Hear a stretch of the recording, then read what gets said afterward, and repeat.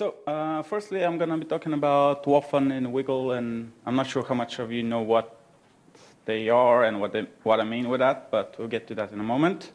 Uh, obviously, my name is Emil Velikov. I'm a student, Bulgarian student in the UK.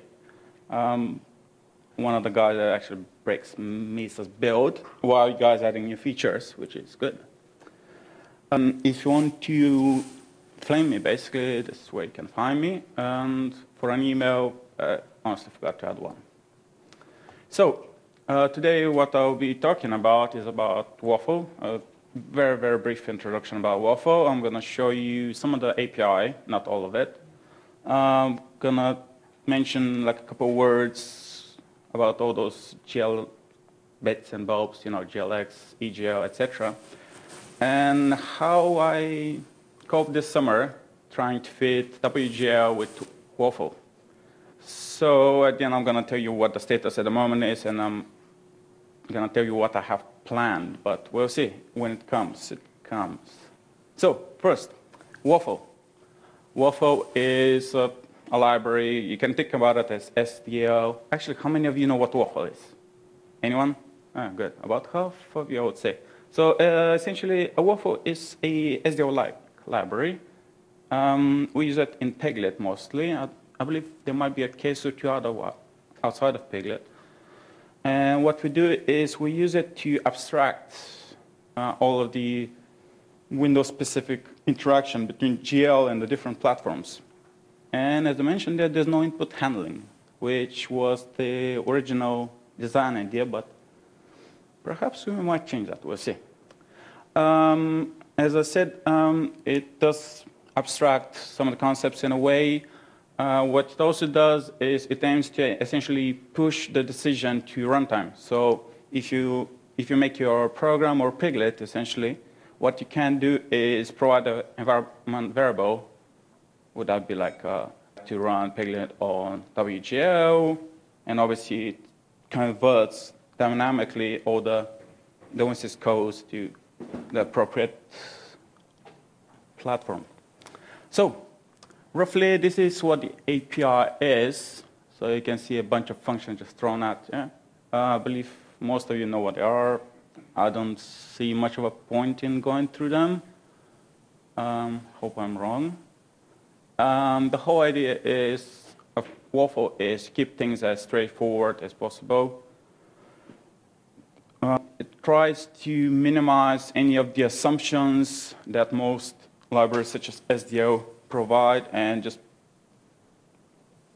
goes as flat as possible. It's a function code. It's even lighter than SDL. So uh, essentially, some of you have written this kind of interesting stuff.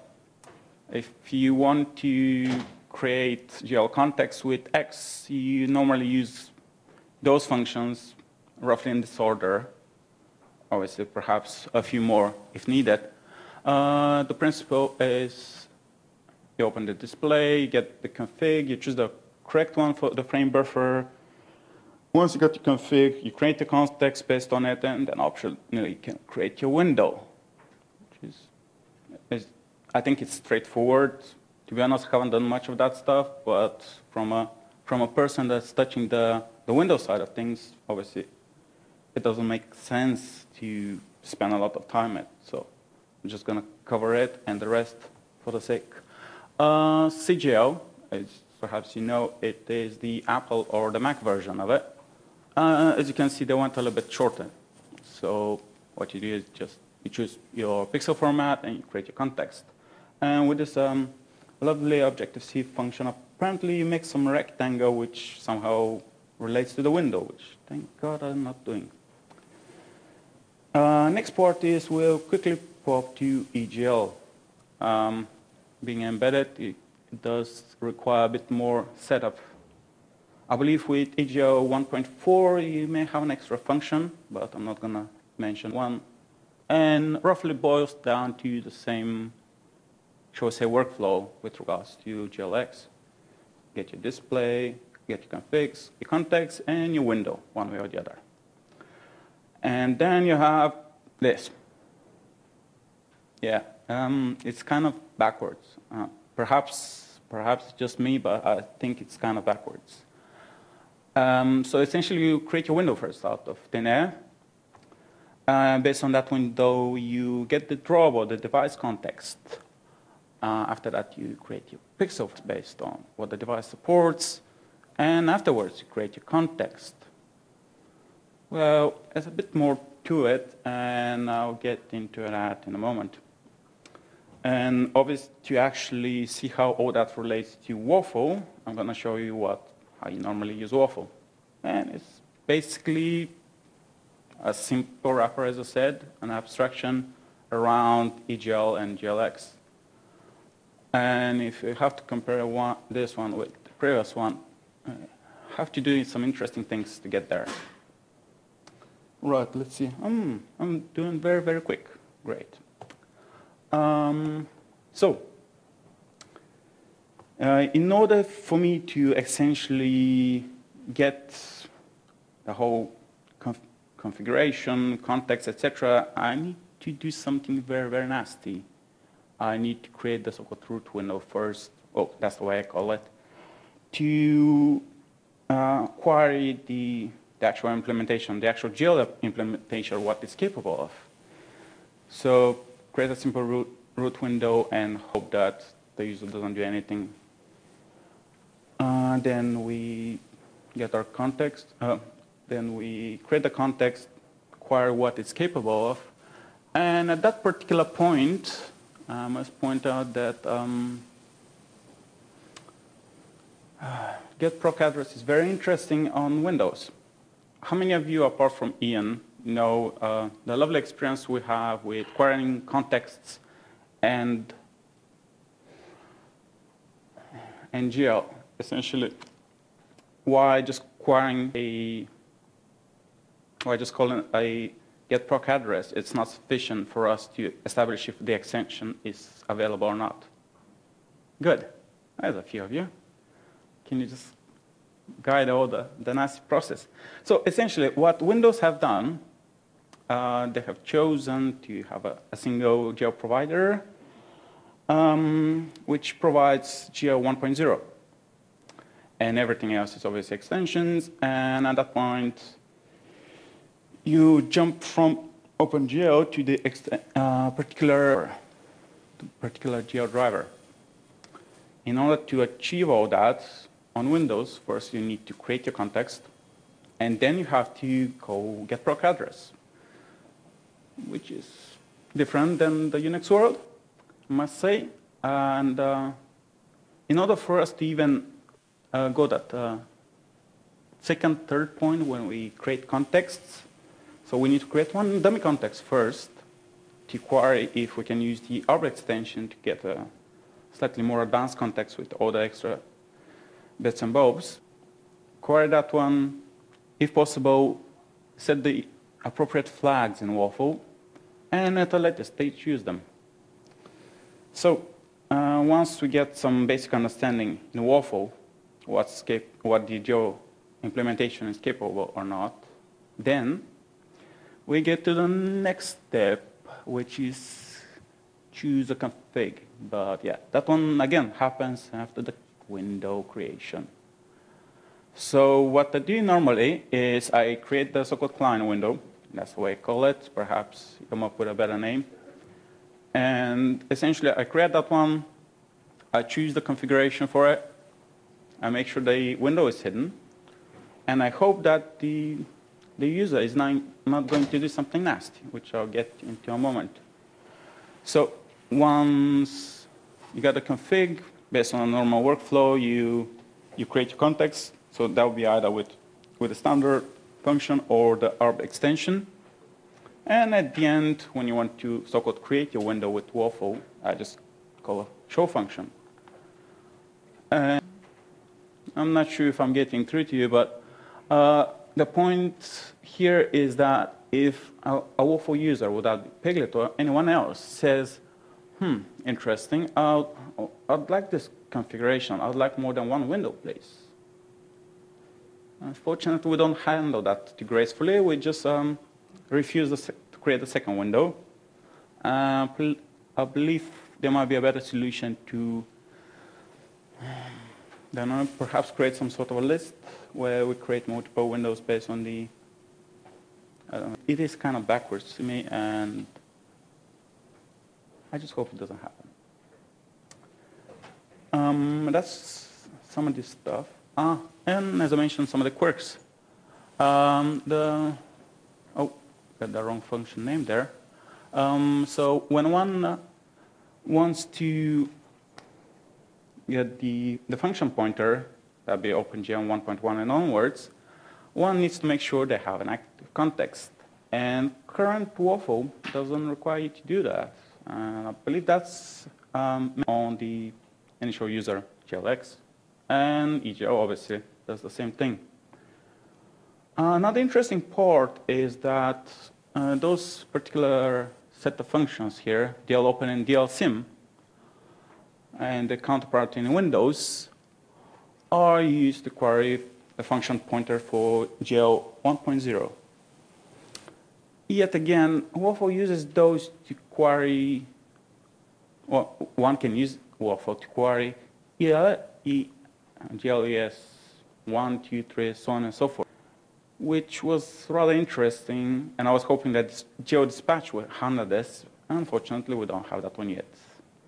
I was pondering for a moment if we can get uh, libepoxy or just epoxy into Waffle. From my point of view, it's a bit too much, to be honest, but we'll get to that. So the solution is, so what, what do we with those OpenDL SIM, OpenGLES, well, essentially, we just forward them to the normal dispatch, which is OpenGL DLL, which, as far as I'm aware, embedded, embedded GL implementations are not allowed, not allowed or are not recommended to provide any function pointers statically link against anything above the OpenGL 1.0 something along those lines. Those extensions are big. Uh, okay, so um, interesting. I'll be wrapped up in 15 minutes. Um, current status is um, I did post all of the code in various iterations through the summer. The last version has been posted on the mailing list. And I'm hoping Chad will have the chance to merge it soon. Uh, there was a minor catch, as I said, with this um, DL open and DL sim. Uh, the current solution, as I said, we just go straight ahead to OpenGL. And as I said, we try to avoid any of the assumptions and everything. So essentially, everyone that uses Waffle, they ought to know what's available and what's not. The, the dispatch we have in Piglit does. So as I said, I'm hoping that the code will be merged soon. There is a minor, I would say quite minor, API change for Piglit, which will require a line or two of change in Piglit. Uh, yeah, and I still got the wrong function name here. Due to the geo get proc address, as mentioned earlier. Um, I'm gonna give you what's next. So basically, um, my hope is to get first thing upstream. Second part is there are a couple of get native hooks for essentially all of the objects in Waffle. Let's just quickly pop down back. As you can see here, so we have Waffle display get native, Waffle window get native, and so on and so forth. Um, most of those are used internally in Piglit, and I don't think there is much of a use for them yet. And they are explicitly used to, I believe there's two uses of them. The major one is for the input. Obviously, one needs to relate the input with the actual window and so forth. Uh, and the second part is when running Piglit in an interactive and non-interactive mode, you can obviously set the actual window to grab the input or not. So as I said, once we get the basic non-interactive mode with Piglit and WGL working. My next plan is to get all the native hooks and put some input, Windows input code. in in Piglit. Then do some cleanups and start pondering again on GL dispatch. Would that be interesting? I don't know. Perhaps might be a, a long and crazy stuff to do. Um, and last but not least, I was thinking about multi-monitor supports for Windows. Uh, I'm not sure there will be many of them, but it will be a definitely nice thing to explore. Uh, in, a, in a summary, must say, uh, developing for Windows on Linux was quite, quite fun. Um, as I said, it's there, it works. Perhaps I should have provided a link. Uh, if you give me a minute, actually, I'll just open up and I'll show you where they are. Um, if you do plan to actually use Piglit with Waffle on Windows, be aware that GPU lockups are common. I had a couple cases where just locked up pretty badly, but mostly the GPU recovery works like charm. Um, as I said, I'm rather quick, and I'll go for some questions. Uh, perhaps I can boot into Windows 7 as well and show you a very interesting run of Piglit. So, any question? Yes, thank you. Sorry, boot, man. Good. Um, yeah, it's going to take me a while. Bummer. Does anyone have screwdriver? Uh-huh. Uh, yeah. Yes, Airport doesn't allow you to wear uh, to carry this stuff in your handbag.